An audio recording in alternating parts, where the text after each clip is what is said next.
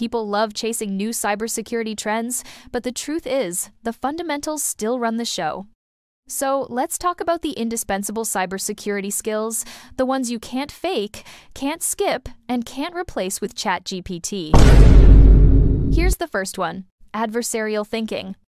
It's the ability to think like an attacker, not just defend like a security guard.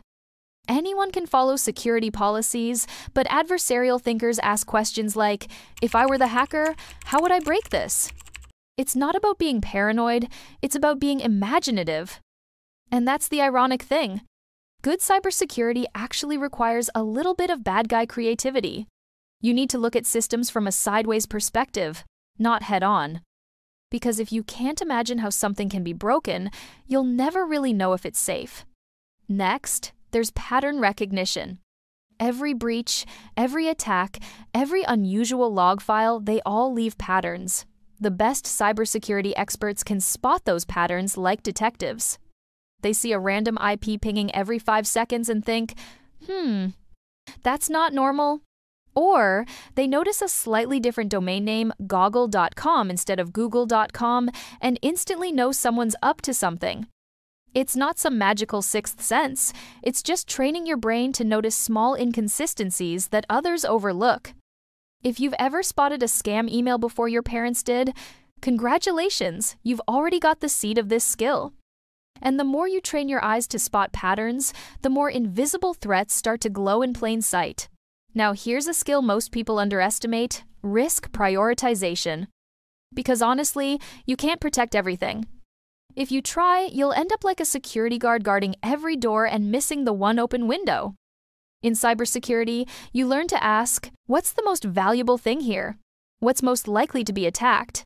And what's the least I can afford to lose? That's risk management in a nutshell the ability to focus your energy where it actually matters. Funny enough, it's not just a cybersecurity skill, it's a life skill too. You can't lock down your entire life, but you can protect the parts that truly matter. Fourth, curiosity. Curiosity is what turns an average cybersecurity student into a great one. You see a weird process running in Task Manager, instead of ignoring it, you Google it. You find an unfamiliar network port, and you look it up. You hear SQL injection, and instead of nodding like you understand, you actually go learn it. That's curiosity, and it's what makes this field exciting because there's always something new to learn. Without curiosity, cybersecurity becomes a checklist. With it, it becomes an adventure. And the cool part? Curiosity pays off because every time you chase one weird question, you're secretly leveling up your brain. Here's a big one that doesn't get enough credit systems thinking. Cybersecurity isn't just about fixing vulnerabilities, it's about understanding how everything connects. One weak password in one department can lead to a company wide breach. One misconfigured cloud setting can expose millions of records. Systems thinkers zoom out. They see how technology, people, and processes form one giant web and how one tug can make the whole thing collapse. So if you ever find yourself saying, that's not my problem, in cybersecurity, Trust me, it probably is. Now, this one might surprise you communication. Yes, I know you didn't get into cybersecurity to talk to people, but hear me out. You could be the best threat analyst in the world, but if you can't explain your findings clearly, nobody will act on them. You need to speak security and human. That means turning there's a vulnerability in our SMTP relay into our email system could be used to send fake messages. Because at the end of the day, cybersecurity isn't just about computers, it's about convincing people to care about them. Finally, adaptability.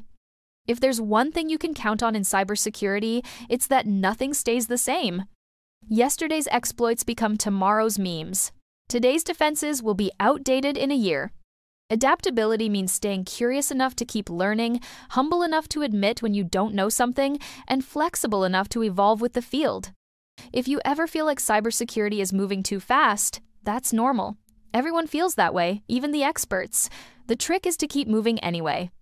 Because in this field, standing still is the most dangerous vulnerability you can have. So, no matter what tools you use or what certifications you chase, remember, these are the real skills that make cybersecurity professionals irreplaceable. adversarial thinking, pattern recognition, risk prioritization, curiosity, systems thinking, communication, adaptability. Tools will change, trends will fade, but these skills, they're not just indispensable, they're timeless. And maybe that's the paradox of cybersecurity. The more things change, the more the most important skills stay the same.